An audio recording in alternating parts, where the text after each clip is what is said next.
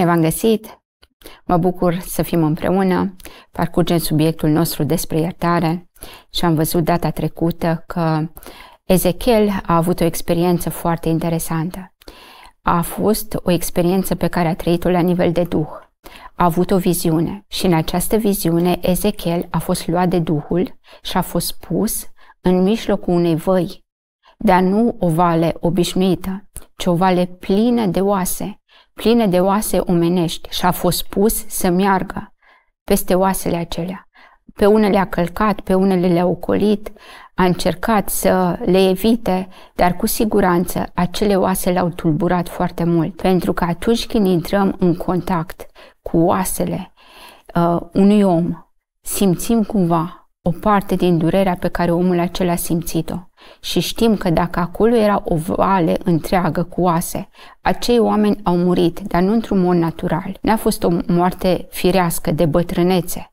Probabil că a fost o armată de oameni care a fost măcelărită și acei oameni au murit într-un mod um, nefiresc, într-un mod nesănătos, într-un mod nenatural, dar înainte să moară au simțit o agonie, au simțit o frică, au simțit o durere, au simțit o disperare înainte să moară. Acum Dumnezeu îl duce pe Ezechiel și îl pune acolo, în mijlocul oaselor uscate, ca să intre în contact cu parte din ceea ce oamenii aceia au simțit înainte să moară, să intre în contact cu disperarea lor, cu tulburarea, cu frica, cu deznădejdea lor, cu tot ceea ce ei au simțit înainte să fie măcelăriți. Este foarte important să intrăm în legătură cu emoțiile noastre, cu ceea ce am trăit înainte să atrofiem inima noastră. Înainte să se împietrească inima noastră am simțit emoții. Poate au fost emoții de frică, de neputință, de disperare, atunci provocarea pe care Dumnezeu ți-o face este ca și cea pe care i-a făcut-o lui Ezechiel. Du-te în valea cea mai adâncă din inima ta. Vezi ce oase sunt acolo, ce oase apar în valea aceea, ce dramă ai trăit, când s-a împietrit inima ta, când s-a atrofiat ace- acea zonă a inimii tale. Pentru că poți aduce viață în acele oase uscate, doar dacă intri în contact cu ele, doar dacă intri în contact cu povestea celor oase, doar dacă intri în contact cu suferința blocată în locul acela. Atunci poți ierta cu adevărat.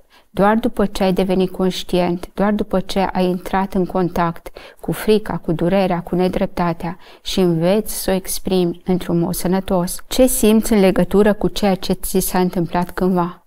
Dă-ți voie să simți ce ai simțit atunci. Dă-ți voie să exprimi ce ai simțit atunci. Dă-ți voie să fii autentic și să spui lucrurilor pe nume. Ești trist, ești furios, ești confuz, este important să identifici emoțiile pe care le simți sau pe care le-ai simțit, deoarece este imposibil să vindeci sentimentele pe care nu le-ai recunoscut și pe care nu le-ai exprimat mai întâi. Apoi, ia hotărârea să ierți. Așa cum iubirea este o alegere, la fel și iertarea este o alegere. Fă alegerea aceasta după ce ai simțit durerea, după ce ai simțit toate lucrurile pe care le-ai trăit cândva, ia hotărârea să ierți. Exact cum împăratul din pilda datornicului a luat hotărârea să ierte pe cel care îi datora 10.000 de galbeni, a luat hotărârea să ierte numai după ce a făcut socoteala, după ce a simțit mânia, văzând cât de multă datorie a strâns acel om. De asta e important să te confrunți cu adevărul ca iertarea să poată veni la nivel profund. Conectează-te la Dumnezeu și ia-ți puterea de a ierta de la El. După ce ai devenit conștient de amploarea abuzului, s-ar putea să simți că nu poți ierta. De asta ai nevoie de Dumnezeu. Din punctul meu de vedere, nu poți ierta fără Dumnezeu, decât la un nivel superficial. Tocmai de aceea avem nevoie de Dumnezeu ca amploarea abuzului să poată să fie iertată la nivel profund, la nivel interior, până în străfundurile inimii noastre. Din fericire, Dumnezeu nu ne lasă să ne descurcăm singuri cum putem cu traumele și nedreptățile pe care le-am avut. El ne dă puterea de a ierta. Ioan 20, 22 și 23. După aceste vorbe, a suflat peste ei și le-a zis, luați Duh Sfânt, celor ce le veți ierta păcatele, vor fi iertate. Veste bună. Există o legătură între faptul de a lua Duh Sfânt și faptul de a ierta păcatele. Poți ierta păcatele prin lucrarea Duhului Sfânt în tine. De asta Iisus a suflat peste ei să primească Duh Sfânt și apoi le-a zis, celor ce le veți ierta păcatele vor fi iertate. Asta înseamnă că tot abuzul, toată amploarea abuzului pe care tu ai trăit-o cândva, nu trebuie să o ierți doar cu putere omenească, ci poți primi putere dumnezească ca să ierți până în adâncul ființei tale. Cheamă-L pe Hristos și vizualizează-L intervenind în situația în care tu te-ai aflat pentru a te salva, pentru a te proteja și pentru a vindeca inima ta. Isus nu ține de timp ca să poată vindeca. Isus nu este dependent de timp ca să te poată vindeca. Isus este în afara timpului. Asta înseamnă că Isus este dispus să meargă cu tine înapoi, în valea aceea adâncă, plină de oase. Isus vrea să meargă împreună cu tine, vrea să facă parte din viața ta, din trecutul tău și vrea să se implice în locurile dureroase din inima ta. Vrea să meargă cu tine împreună în valea aceea de oase uscate, ca să aducă viața, ca să te protejeze, ca să te vindece, ca să reverse dragostea Lui peste tine chiar acolo, în locul acela dureros. Noi avem un Dumnezeu care se implică.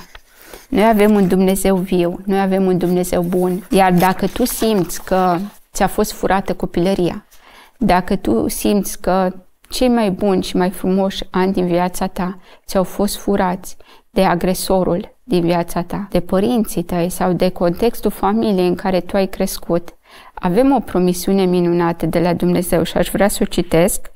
În traducerea Cornilescu spune așa și vă voi da înapoi anii pe care au mâncat lăcusta.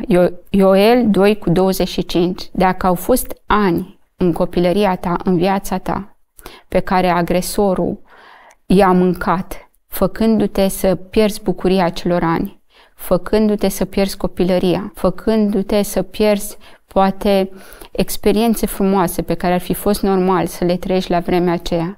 Dumnezeu ne dă o promisiune, o promisiune extraordinară. Îți voi da înapoi anii care au mâncat lăcusta. Cum face Dumnezeu lucrul ăsta? Vei vedea pentru tine. Pentru fiecare Dumnezeu face altfel lucrul acesta. Dar există o promisiune. Dumnezeu îți dă ani înapoi. Dumnezeu îți dă bucuria înapoi. Dumnezeu îți dă resursele înapoi. Dumnezeu îți dă inocența înapoi. Te face din nou pur, te face din nou fericit și ca un copil, cu bucuria de copil. Asta înseamnă vindecare interioară. Înseamnă că Dumnezeu îți dă înapoi inocența celor ani, bucuria și credința de copil pe care le aveai înainte să apară trauma în viața ta. Te provoc, du-te înapoi cu Isus, în locul traumei tale în valea aceea plină de oase uscate, ca Dumnezeu să reverse viață și viață din El, viață din Dumnezeu, peste fiecare zonă dureroasă a vieții tale, ca să poți să fii din nou liber și fericit ca un copil. Mulțumesc! thank you